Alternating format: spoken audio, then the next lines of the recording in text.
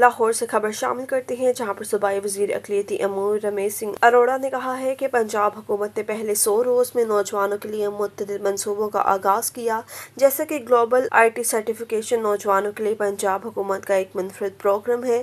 तहम ये मनसूबा वजी अला पंजाब मरीम नवाज़ की हदायत पर पी आई टी बी ने वासिया किया है। उन्होंने कहा है कि दस हज़ार नौजवानों को चालीस से जायद आलमी तस्लीम शुदा सर्टिफिकेशन मुफ़्त फ्राहम किए जा रहे हैं, जबकि दस हज़ार software data engineers web developers और दीगर आई टी प्रोफेशनल्स मनसूबे से फ़ायदा उठा सकेंगे। इन ख्याल का इजहार सूबाई वज़ीर ने यंग मैंस क्रिश्चन एसोसिएशन के एक सौ अस्सी साल मुकम्मल होने की खुशी में मुनदा एक तकरीब से खिताब करते हुए किया। तकरीब में secretary Manuel Sarfaraz Amjad Javed Khan chief executive national Newsnama M P A Raheela Khadim अकलीती M P A Baba फिलबोस और दीगर ने भी शिरकत की।